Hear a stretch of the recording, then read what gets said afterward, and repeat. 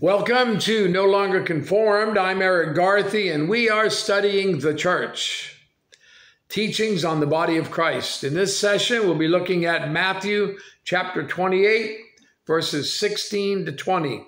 The church plans for evangelism. Let's read our text, Matthew 28, beginning with verse 16. Then the eleven disciples went away into Galilee to the mountain which Jesus had appointed for them. When they saw him, they worshipped him, but some doubted. And Jesus came and spoke to them, saying, All authority has been given to me in heaven and on earth. Go therefore and make disciples of all the nations, baptizing them in the name of the Father and of the Son and of the Holy Spirit, teaching them to observe all things that I've commanded you. And lo, I am with you always, even to the end of the age. Amen. Select the best and build a team. Like a sports draft where they look at all of them and take the ones they want. Or so select a team, select, select the best and build a team, or build a team and make it the best. What's the significance of Galilee? It's where Jesus chose to gather his team to begin the task of evangelism. Matthew 26, verse 32.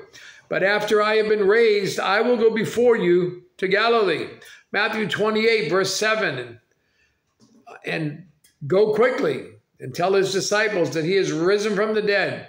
And indeed, he is going before you into Galilee. There you will see him. Behold, I have told you. In verse 10, then Jesus said to them, Do not be afraid. Go and tell my brethren to go to Galilee, and there they will see me. Mark 16, verse 7. But go, tell his disciples and Peter that he's going before you into Galilee. There you will see him, as he said to you. Jesus built his team with all sorts of people. I mean, did you notice the comment about some of Jesus, some on Jesus' team? Some doubted. Verse 17. It's difficult to see past the cross. It requires faith. The church is not built according to man's ways or according to man's understanding. What is the plan? Well, it's the command go. Our text reveals three dimensions of the Great Commission command of Jesus Christ to his church. First, there is the basis of the command. Verse 18 All authority has been given to me. There was a transfer of power, both spiritual and physical. Jesus Christ defeated Satan at the cross and demonstrated his power by the resurrection. So there's the basis of the command. Second, there's the content of the command. First, go to every nation. That means everyone, everybody. Therefore, Jesus' authority will open hearts to hear the gospel.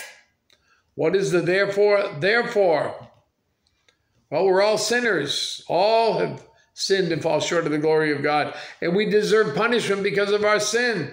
The wages of sin is death. But God loves us. So he sent Jesus to give us eternal life. For God so loved the world that he gave his only begotten Son, that whoever believes in him should not perish, but have everlasting life. And how did he demonstrate that? Well, he sent him to the cross. Jesus died in our place. God demonstrated his love toward us, and that while we were yet sinners, Christ died for us. We need to confess that. If we confess with our mouth the Lord Jesus, our trust in him now. If we confess with our mouth the Lord Jesus and believe in our heart that God has raised him from the dead, we shall be saved. For with the mouth confession is made, with the heart we believe unto righteousness. And then all we simply need to do is ask God to forgive us. All who call upon the name of the Lord shall be saved. Do you know this?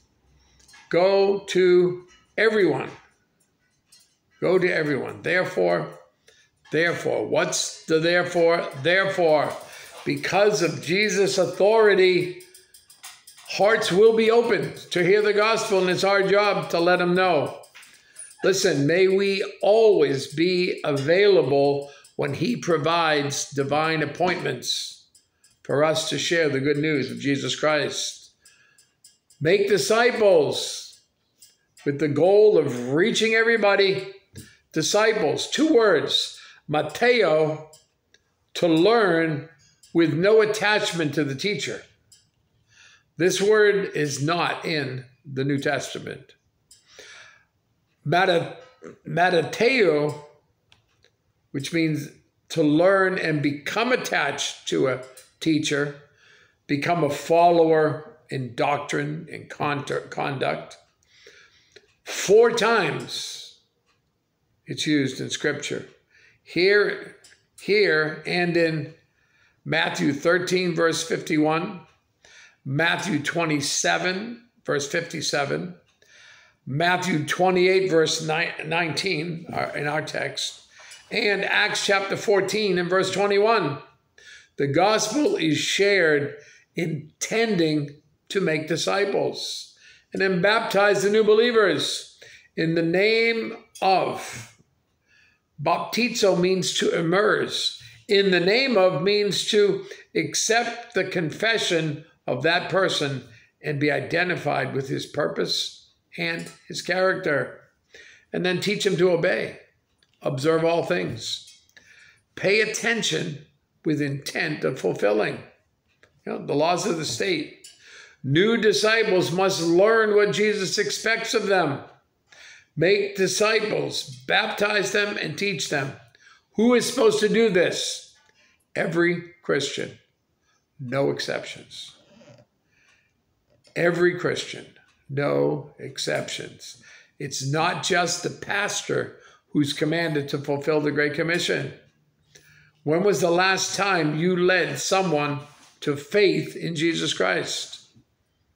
Have you ever done so? And then, third, there's a promise, is the promise of the command. Verse 20 I am with you always. Here's the reason for us to have confidence the command was given and has not been rescinded. The only question is will you obey the Lord's command or continue to make excuses? If any Christian does not evangelize, he or she is disobeying, is disobedient before the Lord. Make a commitment today to be a soul winner. You have a great day.